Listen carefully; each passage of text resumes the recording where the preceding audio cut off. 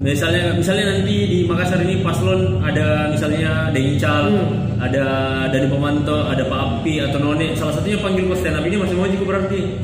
Eh, Nah kalau bicara tentang Pilwal Kota Makassar ini, hmm. adakah salah satu nanti kira-kira kau merapat di salah satu paslon?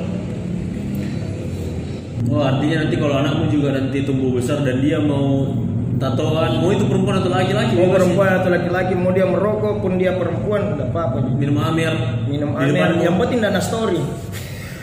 Karena Nora sekali cewek Iya. mas story amer aduh katur Nora, iya. bahkan pernah ke story itu ya Allah. Semoga jodohku tidak pernah story amer tapi ballo Wah, lebih parah aduh. Nah, gimana ceritanya itu kenapa kau bisa putus sama pacarmu yang anak dosen, anak apakah anak dekan, anak rektor, apa?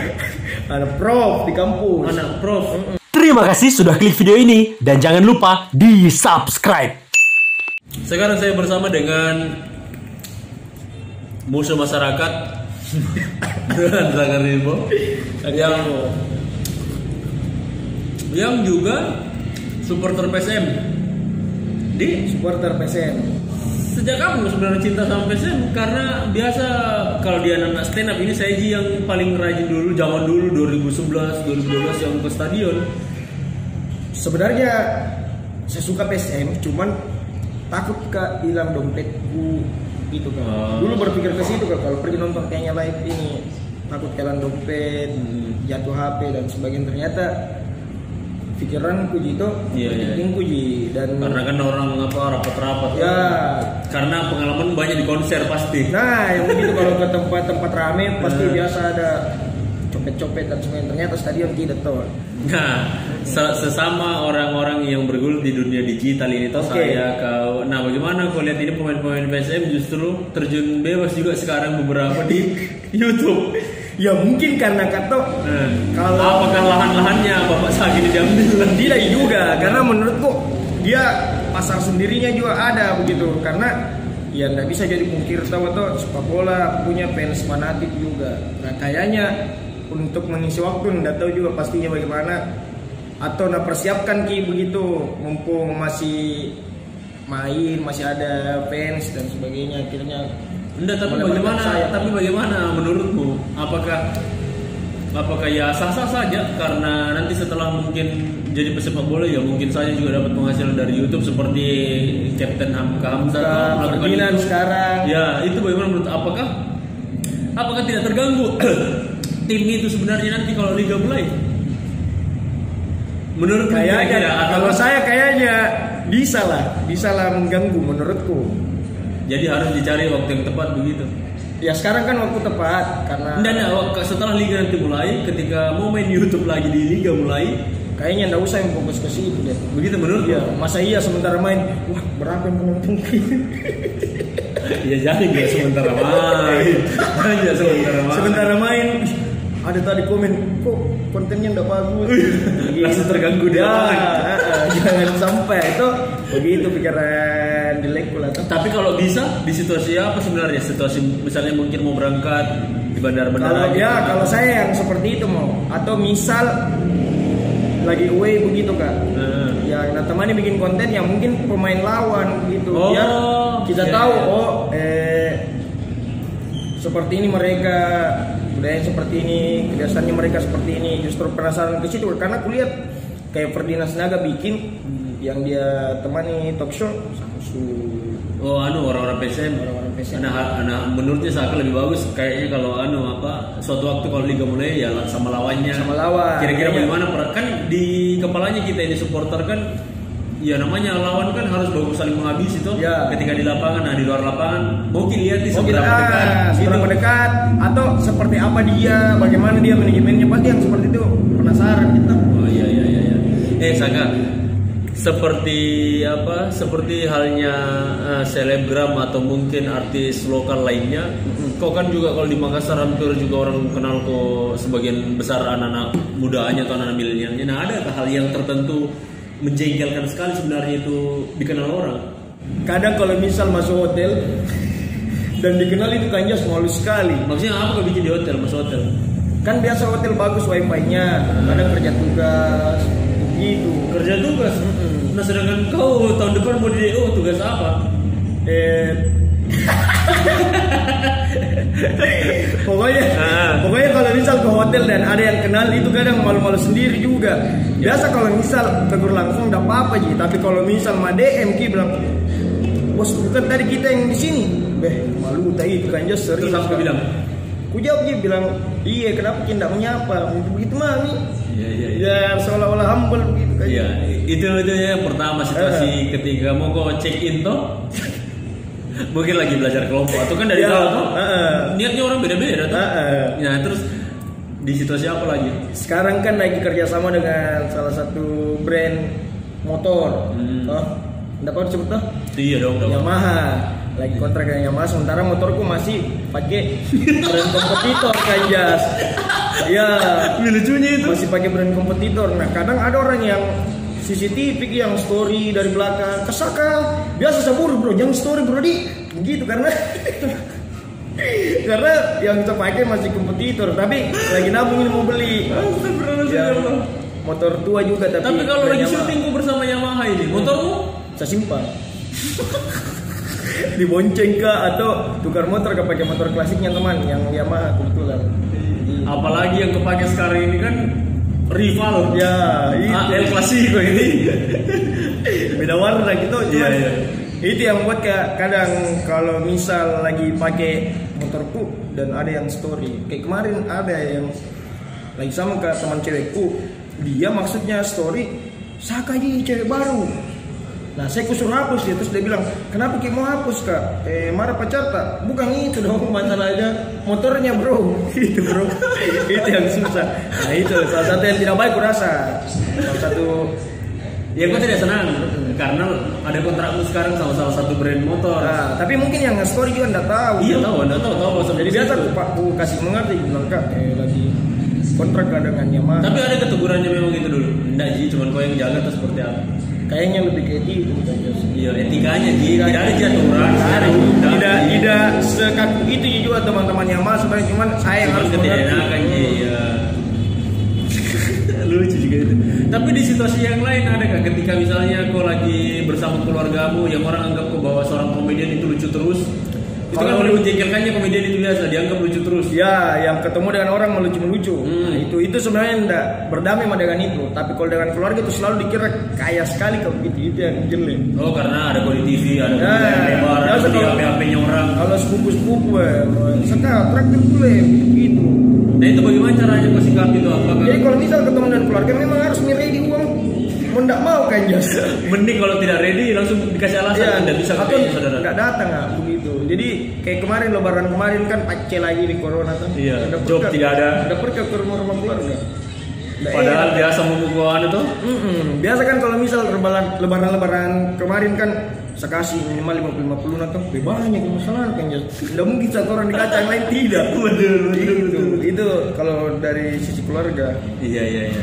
Nah itu juga memang ininya apa dampaknya orang lihat secara di permukaan bahwa orang yang masuk TV, orang yang masuk di film, orang yang masuk di web series ataupun di YouTube menganggap bahwa orang kaya gitu. Padahal kalau mau tahu enggak begitu Ji. Nah, Pintar-pintar tamami manage manage uang tuh. nah sebenarnya kalau hitungannya artis atau selebgram atau youtuber atau apa pun itu namanya, biasa dia uangnya yang banyak justru ketika off air, Ya. undang stand up, Ah, ah. pensi, Ya, karena kalau TV ya Allah, aku bocorkan ini di TV satu kali stand up satu juta. itu pun cairnya Lama satu 23 bulan. hari, Iya. 23 hari kerja. Kalau Jadi- oper-oper lumayan. Nah, jadi hari ini kita bekerja di TV 23 hari kemudian baru masuk di rekening. Baru tayang besonan yang mintanya memang makin traktir.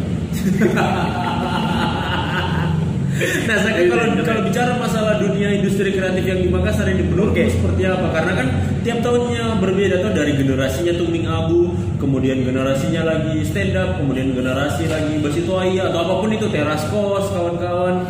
Bagaimana menurutmu semakin ke sini apakah semakin Nah, bagaimana kira-kira? Kalau saya pribadi, enggak tahu kalau diri kulihat ini kata Hmm. kayaknya tidak lama memang.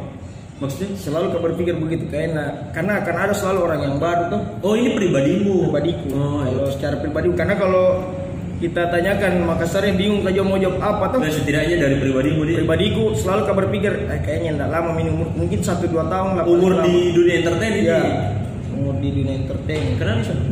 ya karena kurasa nih sekarang tuh kalau tidak siap kak untuk itu ai hilang ya karena sekarang Iwan lagi naik Teras kos. teras kos lagi naik sementara satu circle di kini dan Hmm. saya kan di teras kos juga meskipun secara teras kos kak tapi masih main pribadi kak Iya iya iya. iya. stand up dan sebagainya untuk stand up mungkin masih ada gila nggak tahu nanti suci ini karena ada banyak yang lolos ke Iya. orang nah, itu nggak tahu kalau stand up Ya karena namanya dunia hiburan tuh muncul satu lagi yang baru tumbang lagi seribu muncul lagi dua ribu tumbang lagi itu itu terus sih berganti. Ya. Jadi bakar pintarnya bang bagaimana memanage diri sendiri. Mm-mm. bagaimana caranya biar kasih panjang lagi napas harapanku itu di film Mami karena masih banyak film yang belum tayang belum tayang tuh Oh itu yang bisa ngangkat kau lagi. Ya. Berapa film yang belum tayang? 6 atau 7 kayaknya Apa semua apa semua itu? eh Molulo Molulo kan kemarin April tayang tapi nggak jadi Hmm, ditunda. gara corona Molulo Bololo, Bololo dua. Molulo 2 Coto Kondro First Control, Mayday Mayday, Mapaci mau baca baru-baru di. yang baru-baru ada lagi yang film Jakarta Onrus Kontrus. Onrus Satu lagi. ah Presat Saking banyaknya film sampai gue lupa deh. Jalan ke Terasa Keju Jangan kata rasa jadi movie. ya Nah, itu. Andai kan 66 ini tayang dalam satu bulan, maka nginap pokoknya di bioskop. Bulan depannya gila Nah itu masih setidaknya masih bisa nafas lagi. itu mami harapanku Masih bisa nafas artinya Zaka masih ada lagi dibicarakan orang. ya itu mami. Maksudku berharap kak ketika mulainya turun dan itu naik begitu kayak mulai kurang oh ada film ada lagi promo Tapi kalau kau bilang begitu, artinya kan stand up comedian atau dunia entertain lainnya kan mengandalkan jasa atau ide kreativitas toh. Nah kalau dalam berbisnis kan ada dua jasa dengan produk. Hmm. Nah karena kau tahu bahwa tidak lama mau lagi di dunia entertain, dunia hiburan, apa yang kau yang kau siapkan sebenarnya? Adakah produkmu yang mau kau jual ataukah daftar CPNS atau apa sebenarnya? sekarang itu eh, saya sempat tawar-tawari kayak Kak Adi Adi Basto, Di Persibaya. Basto Tuming sempat saya tawari Kak Icang kalau misal eh, dibantu tulis premis panggil mah Kak Adi kalau mau Script writer, ya itu script writer bukan writers.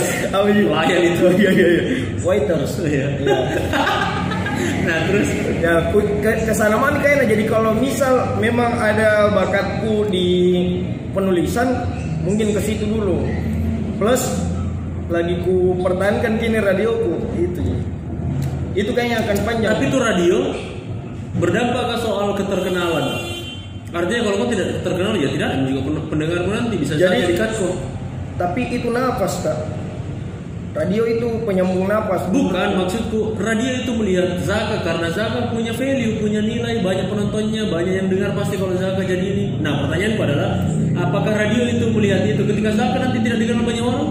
Apakah itu jadi potensi? mak- makanya dari sini karena bagusnya radioku ya meskipun saya tidak tahu ini kata mungkin mungkin menjual toko atau bagaimana tidak mengerti kan soal itu karena aku rasa juga ada ke sana lah tuh tapi bagusnya memang profesional kerja mami maksudnya ya karyawan-karyawan mami kak begitu cuman di announcernya di siarannya begitu kak Di radio. di radio Iya, iya. itu napas mami kurasa jadi memang niat kak masuk di radio untuk mengenapkan entertainer juga yang kan Di radio. iya radio kan entertainer Inake i- Ikate. ikate Di radio i radio. Inake ikate i radio. sempat ya juga kak berpikir begitu nah karena kurasa radio sekarang dulu kan superstar sekali radio Radio. kan dari 2000 berapa itu Karena tidak ada platform yang lain, Nah. belum ada digital. Tapi semakin ke sini menurutmu radio itu berpotensi kan? Memang ada jaminan hidup di situ di dulu radio. berpikir kak begitu kak maksudku mungkin kalau ada di YouTube akan mati radio Nyatanya enggak Ji. ada di TV mati radio tapi ada TV radio masih ada Ji Ada TV dari dulu iya maksudku berpikir kan dulu begitu akan tergeser TV penyiar dengan kayak dangdut dan sebagainya Iya, iya. begitu tapi tidak Ji alhamdulillah masih ada Ji eh, terus ada YouTube tidak juga kayaknya selagi masih ada di mobil ada di radio Selagi macet Makassar, Nah. selagi pada mobil. Selama Makassar macet, maka ada pendengarnya radio. Iya. Tapi sekarang nggak macet-macet bagaimana gitu maksudku beda ki dengan radio Jakarta kan Iya. Eh, Jakarta bro memang orang bisa hidup dari radio Iya. di Karena Makassar. Jakarta tidak mungkin tidak macet. Nah di Makassar tidak bisa kita cuma bilang tidak, Ji. cuman untuk bicara penghasilan dengan penyiar di sana jauh sekali. Nah itu bisa dibocorkan kayak itu. Kalau saya per jam itu dua puluh ribu dalam satu hari berapa jam? empat. Empat berarti berapa? Delapan puluh ribu, delapan puluh ribu. Eh, Berapa dalam makan- sebulan berapa? Oh, eh makan itu ada 30-an. Makan transportasi 110.000. 110 ribu satu hari. Eh, prime time Selama? eh, selama weekdays. Weekdays. Oh, udah tiap hari penyiar. Tidak, Sabtu Minggu libur. Oh, Jadi, berarti lima berapa hari, lima kali kali empat dua puluh, 20. dua puluh kali seratus sepuluh. hmm, 2 jutaan lah. Oh iya iya. iya. Lumayan lah. Jadi- cuman saya malas masuk. Bukan malas, kadang kadang absen. Jadi enggak pernah Pak, jarang kak dapat eh fee siaran yang bukan enggak pernah pernah ya mungkin cuman jarang kak. Jadi dapat fee yang memang betul-betul sebulan kerja. Nah kalau Anda Sak, apa bedanya sebenarnya jadi penyiar dengan stand up comedian atau ilmu dalam stand up ini terpakai sekali di penyiaran? Karena kan tidak semua penyiar tahu juga tentang teori Justru kan tuh kalau masuk di- dunia radio yang tidak tahu pun eh stand up enggak mau harus mengerti. Karena punchline, what if itu terpakai sekali di siaran radio. Karena di radio dikasih jadi saja tema dikasih di skrip jadi headline-nya jadi kasih itu yang kita kembangkan jadi terpakai sekali lah. Oh berarti secara verbal secara ya begitu mo- mo- apa nih? Membantu sekali lah dunia stand up dengan radio Walaupun juga hasil dari menyiar itu tidak sebesar kalau ketika kau stand up, tapi setidaknya apa ada per bulannya. Setidaknya kau gajian per bulan di sini. ya ada. Dan selalu kau berpikir kalau punya radio itu keren. Selalu kau berpikir begitu. Iya keren. Karena tolak ukurnya Gofar Hilman, tidak juga Vincent Desta. makanya tadi berpikir kak kalau misal kita bicara radio jualan toko nah makanya bergeser nih dulu kan superstar superstar tuh Iya. sekarang kan dilihat deh radio Jakarta ada eh ceper ceper Rego Ceper. Marco Ceper terus ada yang Vincent Desta Hmm. Gopar Hilman meskipun Gopar kan penyiar tulen gitu memang tuh Tapi kau ya kalau ditanya influence itu siapa? Yang yang yang yang yang mau seperti dia? Gopar Gofar Hilman. Itu mi kau bikin tato juga lagi sekarang. tidak juga sebenarnya cuman eh senang senang dengar dia gitu jujur Ki. Karena apa kebebasan bicaranya dia. nah Iya iya iya. mau sekali kan dapat panggung seperti itu tapi masih tertahan-tahan Kenapa? ya mungkin karena budaya tuh Budaya apa? timur jadi Kenapa? kayaknya kalau misal saya bilang tadi malam saya ngewe dengan tiga orang Hmm. mungkin kalau di Jakarta slow-slow aja orang di sini kayak hmm, Makassar tuh baru Iya iya. gitu Iya iya. Sulit iya. sekali masih sulit diterima podcastku bertiga email dengan Ruby sebenarnya ke sana nih jadi meskipun yang dicerita adalah pengalaman tapi lebih seksis di pembahasannya Iya iya iya. iya. Kak. Tapi betul kan kalau kau pernah ngewe sehari tiga kali? Kayaknya kalau tiga tidak eh dua lah. Pernah. Jadi dulu dulu tuh dulu sebelum. Sama followers followers Instagrammu? tidak. Jadi eh, followers kayak tidak juga jika maksudnya eh, yang bagus suka jadi memang. Nggak tahu nak follow kan tidak. Udah berarti dulu gitu. Dan ada followers kapan sih gitu. Jadi dulu berpikir kak anjing kalau check in baru eh, satu orang jerugi begitu ya kak. Oh iya iya. Apalagi sekali nih lama sekali nih kan jas. Berubah misalkan sekarang. Tapi masih begitu main pas bicara. tidak. Tidak sekarang. Tahu kan Yasna karena alhamdulillah ini enggak enggak harga ini cuman kupikir 24 tahun mau sampai kapan? Berpikir begitu mas sekarang. Tapi mau menikah dalam waktu dekat atau kamu kau seperti idola kamu Gofar Hilman yang 30-an belum menikah? targetku 27 Kenapa? karena yang kan ada saya target jangka panjang buka Apa itu? tiga tahun ini kupersiapkan satu tahun ini kuliah. Selesai harus kuliah. Toh? Dan tidak mungkin. tergantung seberapa jago kita masuk ke jurusan toh Eh, terus itu sekarang lagi cicil rumah sekarang ini iya lagi cicil Di rumah mana? di Patalasan Hmm. cicil rumah per bulannya berapa itu? 1,1 selama 15 tahun. 15 tahun. Baru berapa tahun? Baru dua bulan. Masih sangat bisa untuk ditarik. Eh, terus terus terus. Eh. Jadi tiga tahun satu tahun kuliah, Hmm. dua tahun ini memang uniatkan nih next ada job 2 juta misal 1,5 harus masuk tabungan dua tahun ini selama dua tahun begitu tiga tahun ini kalau di sini cicil rumah berarti ada mesin rumahku jadi tiga tahun targetku memang ini mapan ini insya Allah Tapi ada tanggungan muka sampai sejauh ini? sebenarnya ada tapi tahambur ke waktu corona Oh, terpakainya di situ. Ya, jadi saya kerja sama dengan rokok Kanjas. Itu satu bulan hampir empat lah. Eh bayarannya itu Empat apa?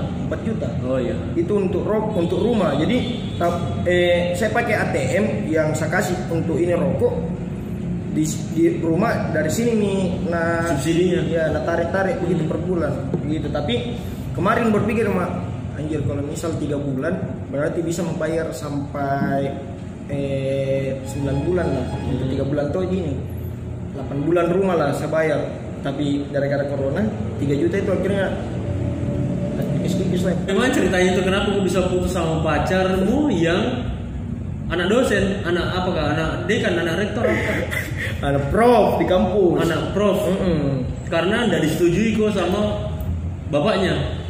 Eh kalau si dia memang bilang kalau eh paceku itu anda tahu ini mungkin karena bahasa selanjutnya dia itu beda jadikan di alasan untuk luapkan sakit hatinya bingung kalau mau dia kasih jadi tameng diri nah kalau sakit hati kak dan tidak merasa tidak kaya akhirnya dia jual pacenya bilang kayak pacek itu tak Biar kuat dia argumennya. ya pacek itu tak asal kau tahu dia tinggi sekali ki kualifikasinya Hmm, untuk untuk cari menantu ini. Nah, ceritanya. ah, ah, karena kacenya yang sebelumnya itu dengan dokter juga. Dia kan dokter, bukan di dokter umum, cuman di Sekolahnya juga. kedokteran di psikologi. Ya. Akhirnya, oh ya sudah impai, udah mau. Tapi waktu itu merasa kok bagaimana waktu itu? Deh, masa namu burka karena tidak mungkin setara secara Iya. sosial. secara sosial, secara finansial memang berpikir ke ke situ. Kasar-kasar nah gini kata bilang, oh ya sudah mungkin karena enggak, orang enggak ada ya tuh. Terus secara face juga, wuh, begitu Pak pindah. Begitu, cuman pede-pede kayaknya sebelumnya sampai akhirnya mungkin saya juga yang ketai akhirnya nah jadikan mi alasan itu. Kalau bukti real itu kak cewek sebelumnya Nah. ada namanya eh, Nurul Fadila tuh. Oh iya, sering bisa lihat instastory waktu itu putus dengan itu juga. Bila. Eh, iya Nurul Fat namanya tuh. Fadilla. Iya, eh, itu yang Dia real. mau panggil bro-bro apa? Iya, itu real karena memang macenya yang tahan ki. Jadi si cewek ini mau Ciko dong. Bahkan waktu itu dia waktu pertama kali kata tahu kalau macenya ndak suka kak. Saya tanya dia bilang selesai mungkin dong. Tapi dia ndak mau. Dia bilang jangan nih bisa gitu kalau orang tua bisa gitu. Tapi saya berpikir mah anjing ndak mungkin kalau orang tua sudah bilang tidak dan tiba-tiba bilang iya toh. Kecuali memang dibawanya martabat. Ya karena muda dulu-dulu tuh Hmm. dapat hati calon mertua martabak. Eh, eh. jadi akhirnya dia eh, sama macenya ditahan HP-nya sampai waktu itu sempat kayak yang syuting on road di Jakarta pas balik ke nggak ada di Makassar dikirim ke Balikpapan untuk tidak kontekan sama Yang saya. penting jauh. ya saking segitunya tuh orang tuanya akhirnya Tapi kalaupun juga nanti suatu waktu kau jadi orang tua dan punya anak cewek dan nanti dia pacaran seperti orang kayak kau kayaknya juga tidak mau kok. eh kanjas saya berpikir kamu gimana kanjas Eh. pun kalau misal nanti anakku eh, mau tatoan mau apa akan kuberikan kebebasan karena kurasa sekali saya sekarang Hmm. begitu kecuali Diberi kok kebebasan dari orang tua. eh orang tua aku kasih kebebasan karena mungkin narasa misalnya tulang punggung sekarang Nah, ya, tidak ada pilihan lainnya orang tua artinya. Hah? Tidak ada pilihan lainnya orang tuamu untuk tidak membebaskan. kayaknya narasa jika kalau oh bisa nih data begitu Oh, iya. karena aku kasih lihat nih memang tuh kalau Bisa kau berpenghasilan dari nah sekarang. iya jadi aku bilang mentong secara gestur kalau ya biar nih saya yang yang ngatur diri kita yang penting masih bisa jadi hidup kini ada adekku apa dan sebagainya begitu Oh artinya nanti kalau anakmu juga nanti tumbuh besar dan dia mau tatoan, mau itu perempuan atau laki-laki mau perempuan atau laki-laki mau dia merokok pun dia perempuan tidak apa-apa minum amer minum amer yang penting dana story Karena Nora sekali cewek Iya. mas story Amer. Amer. Amer, bro. Iya iya iya. Padahal minum Amer itu tidak ada di syaratnya harus di sasori. Di- Dah. Minum-minum saja. Ya, yang cewek seperti itu tuh adalah cewek yang kalau misal naik motor ndak pakai helm baru story. Oh iya iya. Dan iya. check in di hotel. Kayak ada rasa kebanggaannya sendiri. Di. Padahal kator. Nora, iya. Bahkan pernah ke story tuh ya Allah, semoga jodohku tidak pernah story Amer. Tapi ballo. Wah, lebih parah. Aduh. Nah, Saka kalau kalian- ini kan sekarang Makassar ini mau pilot ini agak serius ini pembicaranya. Nah, tapi saya mau minta di sudut pandangmu ini sebagai orang yang dianggap orang lain mungkin cuek terhadap politik, orang tidak peduli. Tapi saya mau tahu saja soal Saka ini melihat itu. Makassar ini dalam waktu dekat ini satu dua tahun lagi akan ada pilwal kota Makassar ini. Oke. Dan sudah ada nih beberapa branding di luar sana siapa yang akan maju nantinya melihat dari eh apa eh apa melihat dari elektabilitas masing-masing calon toh. Tapi sebelum saya jawab eh saya lanjutkan pertanyaan ini Zaka adakah nanti mau salah satu paslon mau didukung? Kayaknya tidak. Dulu pernah ke Kanjas waktu pemilihan gubernur itu sempat kak eh, bantu bukan dia bantu ya sih maksudnya ya bantu lah Setidaknya ada aku di barisannya. eh, iya ku story story kan program-programnya beliau Siapa itu? Yang naik sekarang Pak Nurdin tuh Oh, Nurdin Abdullah. Nah, itu karena punya rasa bersalah sama beliau Kenapa? jadi waktu itu saya stand up di Bantaeng Waktu itu Bantaeng. masih dia jadi bupati. Ya, waktu itu dia jadi bupati dan pertama kali kak stand up di Bantaeng plus saya tidak bisa bedakan mana Nurdin Abdullah mana Nurdin Halid.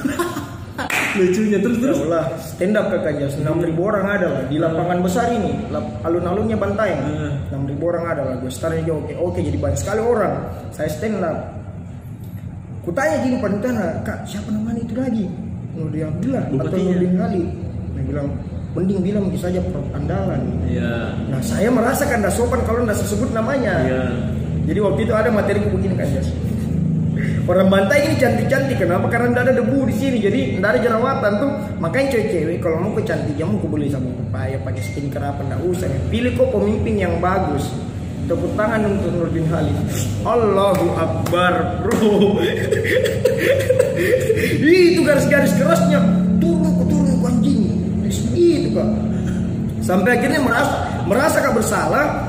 Nah di DM kak, saya, tidak tahu siapa itu bilang, eh kak bisa begini begini begini.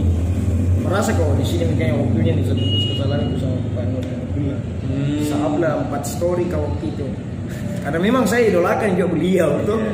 Jadi saya ke situ gitu. Nah, kalau bicara tentang pilwal kota Makassar ini, Hmm. Adakah salah satu nanti kira-kira kau merapat di salah satu paslon Tidak ada kayak setidaknya mainnya ini saja di main tidak tertarik ke situ kayaknya. ke politik Hmm.